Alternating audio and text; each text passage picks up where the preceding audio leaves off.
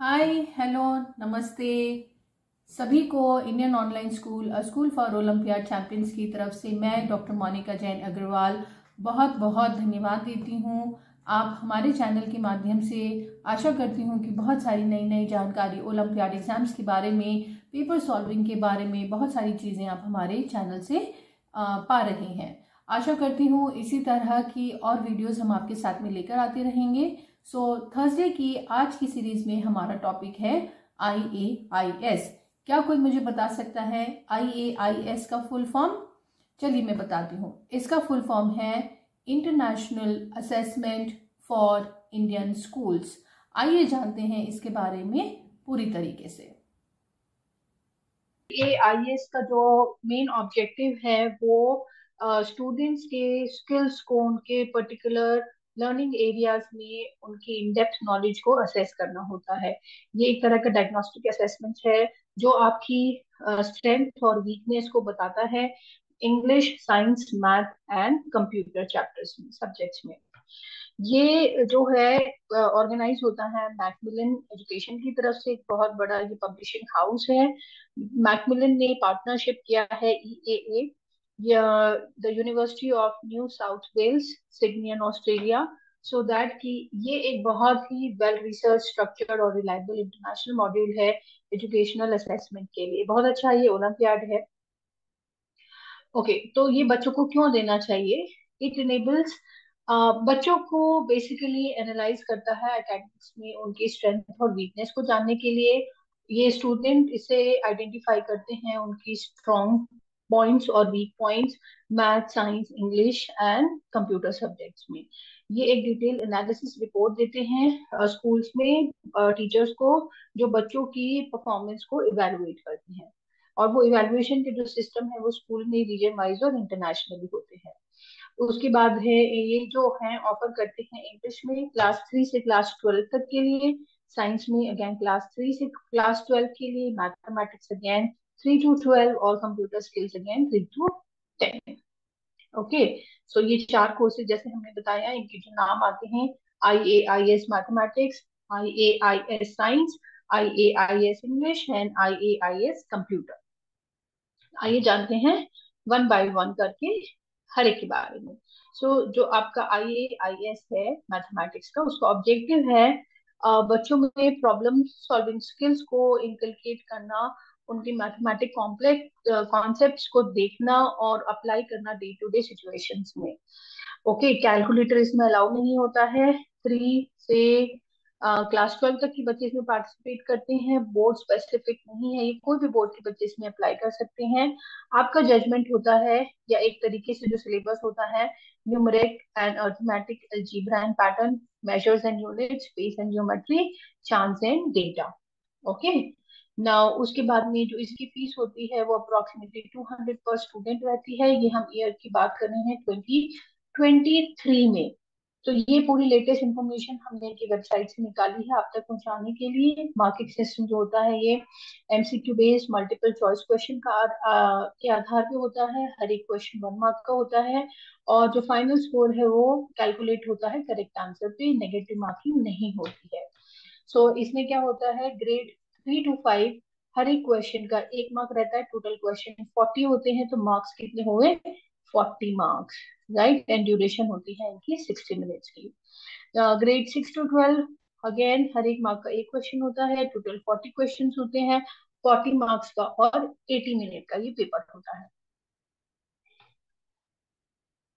ऐसे ही I A I S science इनका objective होता है स्टूडेंट्स को इवेलुएट करना, उनके प्रॉब्लम सॉल्विंग एरियाज़ को। सो स्टूडेंट स्टार्ट करते हैं data collection interpretation analyse the data जो कि प्रॉब्लम सॉल्विंग को लीड करता है। ये एक बहुत ही अच्छा मेथड होता है, एक साइंटिफिक वे होता है किसी भी प्रॉब्लम को सॉल्व करने के लिए। अगेन इसमें ग्रेड थ्री से ग्रेड ट्वेल्व तक के कोई भी स्टेट के बच्चे स्टेट बोर्ड अपना सीबीएसई आईसीएसई स्टेट बोर्ड कोई भी बोर्ड के बच्चे इसमें अप्लाई कर सकते हैं। स्किल असेसमेंट होता है, आपका observing measuring interpreting data predicting concluding and investigating reasoning and problem solving ये बहुत बहुत ही रिलायबल मेथड है आपकी प्रॉब्लम सॉल्विंग स्किल्स को बढ़ाने के लिए, उनको इंकलकेट करने के लिए। दो सौ रुपए इनकी फ़ीस रहती है।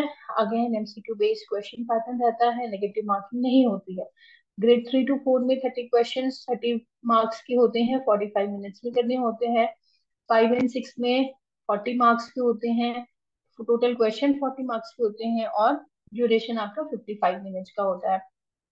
हायर ग्रेड में सेवन टू ट्वेल्व में हर एक मार्क के लिए वन क्वेश्चन होता है total question forty five marks forty five होते हैं और आपका समय होता है सिक्सटी मिनट्स नेक्स्ट है हमारा I A I S English इसका ऑब्जेक्टिव होता है I A I S English Olympiad analyse करता है थिंकिंग प्रोसेस को स्टूडेंट्स पे और इवेलुएट करता है जहाँ वो बच्चे लैक करते हैं।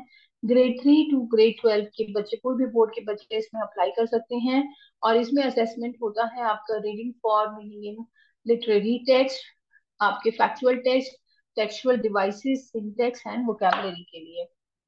Right right? फ़ीस इसकी अगेन दो सौ रुपए पर स्टूडेंट होती है और इसमें एमसीक्यू बेस्ड क्वेश्चन होते हैं।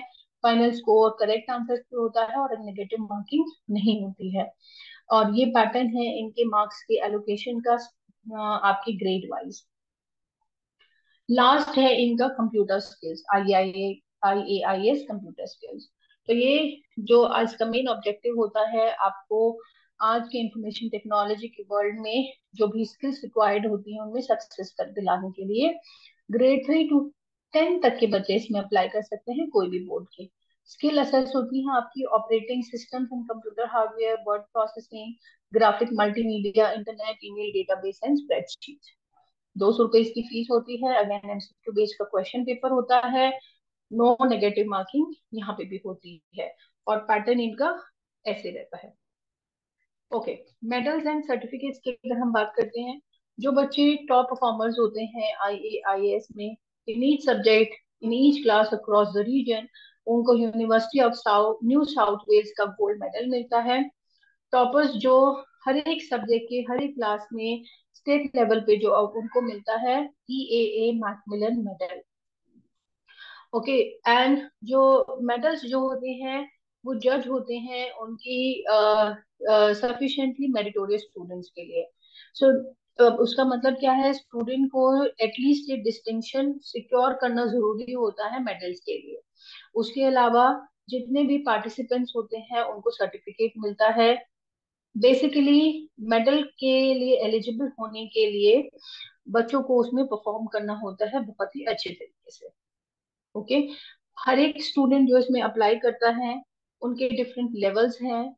उनकी कैटेगरीज होती हैं हाई डिस्टिंक्शन जो कि टॉप के वन परसेंट होते हैं देन डिस्टिंक्शन जो नेक्स्ट टेन परसेंट होते हैं क्रेडिट जो twenty five next twenty five होते हैं और पार्टिसिपेशन सबके लिए होता है।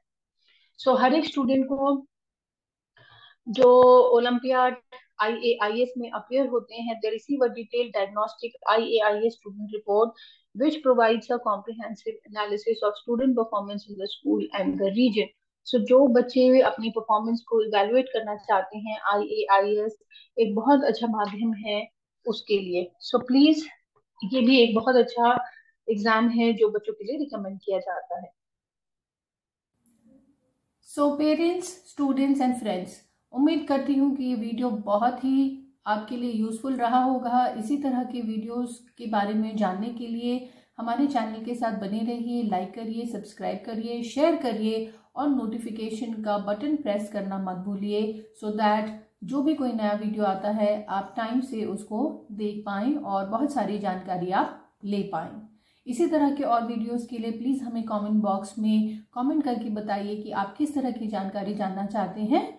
और इसी के साथ थैंक यू वेरी मच मिलेंगे नेक्स्ट थर्सडे को।